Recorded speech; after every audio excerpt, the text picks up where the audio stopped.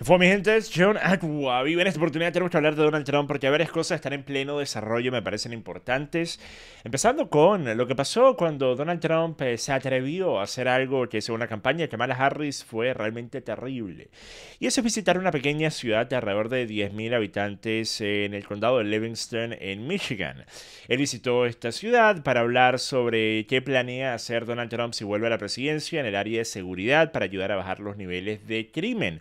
Ahora, esta es la forma en la que Donald Trump fue recibido. Esto no fue un rally, esto fue simplemente Donald Trump llegando a dar un discurso principalmente a la prensa y algunos miembros, por ejemplo, del Departamento de Policía, el Departamento de Bomberos y más, pero esto no fue un rally. Sin embargo, miles de personas salieron a las calles a recibir a la caravana de Trump entrando a la ciudad.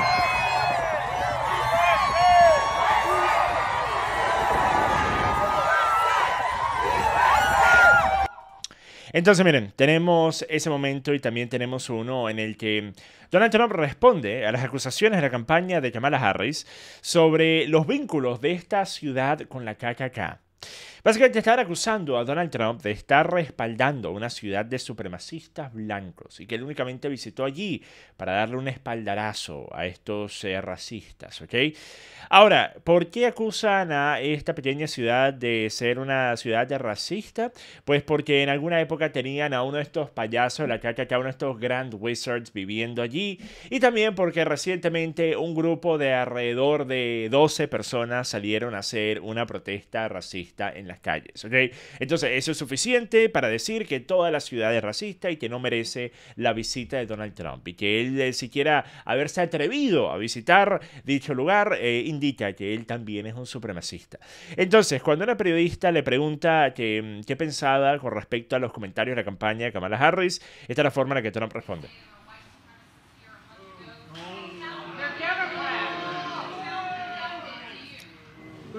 Who was here in 2021? Thank you. Thank you, everybody. Miren, entonces Donald Trump simplemente dice, ok, ¿quién estaba aquí en el 2021? Y la periodista dice Joe Biden. Y él dice, ah, gracias, ahí me diste la razón, ¿verdad? Porque sí, en efecto, Joe Biden en el 2021 visitó esta misma ciudad. Ahora, lo que brilló por su ausencia en aquella época fueron las acusaciones de que Joe Biden estaba apoyando la supremacía blanca por haberlo hecho. Pero en este momento, honestamente, esto es material de memes. Miren la forma, miren la forma en la que responde. Who was here in 2021? Thank you. Thank you, everybody. Y sí, en efecto, eh, a estas alturas ya Trump sabe, ya Trump sabe las estrategias de la prensa, ya Trump sabe cómo navegar en estas aguas, ¿ok? Así que realmente quizás unos años atrás hubiese pasado 5 o 10 minutos eh, metido en un debate con esta periodista sobre por qué lo están acusando de ser racista y esto y aquello, pero ahora simplemente dices, mira, ¿sabes qué? ¿Quién estuvo aquí en el 2021? Ve a hacer la pregunta a Joe Biden. Entonces, si yo soy esta cosa terrible por, por estar aquí, entonces él estuvo primero. Él estuvo aquí tres años antes que yo estuviese. Entonces, ¿por qué no le hace esa pregunta a él? Ahora, por su parte, utilizando la misma lógica de que al parecer si tú visitas un lugar donde hay un grupo de personas eh, pequeñísimo que piensa algo malo, eso también también significa que tú piensas esa cosa, pues vamos a aplicar esa misma lógica al lugar donde Kamala Harris y Joe Biden decidieron ir para realizar su primer evento en conjunto desde que Kamala Harris eh, le hizo un golpe a Joe Biden y lo sacó del camino, ¿ok? Esto fue la semana pasada cuando visitaron eh, un lugar en Maryland eh, llamado Prince George County, el condado de Prince George, el príncipe Jorge, ¿ok? y resulta que... De por sí, Maryland es un lugar que tiene mm, altos niveles de criminalidad, crimen violento, especialmente en lugares como Baltimore, pero Prince George County no se queda atrás, es uno de los lugares con la mayor cantidad de crimen violento y es un lugar que en el último año ha visto una alza de 12% en crimen violento. Entonces, eh, nosotros nos preguntaríamos, utilizando la misma lógica de la campaña de Kamala Harris, ¿por qué decidieron ir al primer evento en el conjunto que estaban haciendo con Kamala Harris siendo candidato al partido? ¿Por qué decidieron ir a un lugar con crimen violento.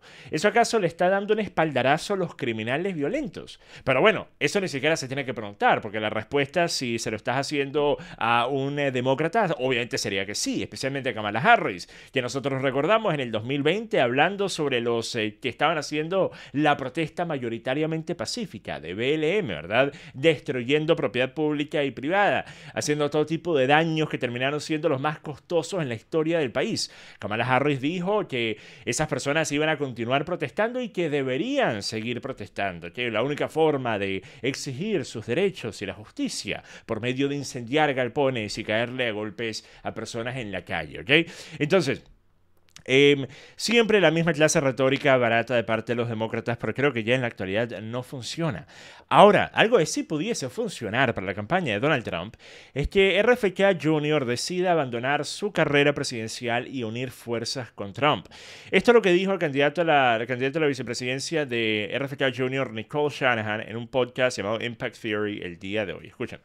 You know, there's two options that we're looking at, and One is staying in, forming that new party, but we run the risk of a Kamala Harris, uh, Kamala Harris and and Waltz uh, presidency because we draw votes from Trump, or we draw somehow more votes from Trump, or we walk away right now and join forces with with Donald Trump and and you know we walk away from that and we explain to our base why we're making this decision.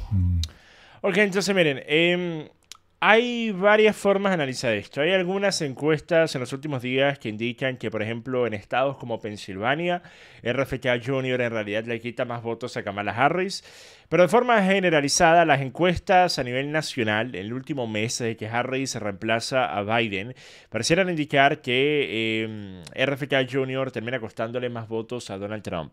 Por ejemplo, en el, en el agregador de encuestas de The Hill, tenemos que en una disputa donde RFK Jr. es candidato, eh, Kamala Harris tiene una ventaja de 4.1%, pero si sacamos a RFK Jr. de candidato, esa ventaja baja a 3%. Ten en cuenta que este agregador yo creo tiene una, un sesgo más hacia la izquierda que otros, pero en Project 538 podemos ver algo parecido. En la actualidad, en la actualidad Project 538 tiene a Kamala Harris por encima de Trump en 2.9% eh, con el agregador de encuestas que tienen en su plataforma. Entonces, desde el punto de vista de Robert F. Kennedy Jr., ¿cómo puedes exactamente estar bien contigo mismo? Siendo potencialmente una pieza clave para darle la victoria a Kamala Harris que por mucho puedas tener diferencias con Donald Trump, yo creo que RFK Jr. Eh, sería el primero en aceptar que Donald Trump sería un presidente mucho mejor, o por lo menos desde el punto de vista de RFK Jr., menos malo que Kamala Harris, ¿ok? En tal caso, lo lógico pareciera ser, en efecto, abandonar la carrera y apoyar a Trump. Por su parte, la campaña de Donald Trump eh, dijo que ciertamente Trump estaría abierto a que Robert. Kennedy Jr. pueda desempeñar un papel en su administración, en la administración de Trump, si se retira la campaña y apoya a Trump. También Elon Musk publicó algo que, como suele ser el caso con los tweets de Elon Musk, no se sabe si es una opinión o un meme, pero eso fue esta imagen. Em, con el texto que dice, estoy dispuesto a servir. Ustedes recordarán en la entrevista que le hizo Elon Musk a Donald Trump, hablaron sobre quizás crear un departamento de eficiencia gubernamental para que no se pueda con tanta facilidad perder una cantidad inimaginable de dinero a distintos departamentos y ramas del gobierno, por ejemplo el Pentágono, que frecuentemente pierden miles y miles y miles y miles y miles y miles de millones de dólares. Ay, no sabemos qué pasó, sí, un errorcito, ups Ups, imaginen ustedes hacer eso con el departamento de impuestos, con el IRS. Imaginen usted le dice, ay sí, mira, yo, yo sé que yo debería haber declarado esos 10 millones de dólares extra, pero ay, es que se me olvidó, no pasa nada, ¿verdad? Entre amigos estamos, ¿verdad? No hay problema. Eh, pero aquí tenemos a Elon Musk publicando esta imagen que dice Departamento de Eficiencia Gubernamental, que las siglas terminan siendo el nombre de la cripto favorita de Elon Musk. Y pues por eso no se sabe si es un memo, si realmente realmente Elon Musk estaría dispuesto a mm, ser parte del gabinete de Donald Trump. Ahora miren, vamos a eh, terminar esto con lo que fue mm, una actualización de mm, el mercado de apuestas más grande de la política en la actualidad es Polymarkets, donde Donald Trump ahora es el favorito a ganar con 51%. Y pues miren, al fin y al cabo, el dinero habla, como suele ser eh, el caso, y pues si personas tienen mayor confianza en que Donald Trump va a ganar eh, y están tan dispuestas a inclusive partir con su dinero para em, tratar de básicamente sedimentar que esto sea el caso, yo creo que eso indica más quizás que el que una persona simplemente haya decidido responder una llamada telefónica eh, automatizada preguntándole por quién va a votar para hacer una encuesta o un sondeo o darle clic a una encuesta en redes sociales. Estos son personas partiendo con su dinero, ¿ok? Miren, si ustedes me preguntan, hoy por hoy creo que la contienda está increíblemente reñida, muchísimo más reñida de lo que debería estar, yo creo, especialmente después del último mes y medio que ha tenido Donald Trump. Yo creo que Donald Trump debería ya básicamente haber podido asegurar esta carrera presidencial pero no ha sido el caso, así que esto es algo que se va a definir probablemente en las últimas semanas de la campaña, si no es que quizás en los últimos días de la misma, ¿ok?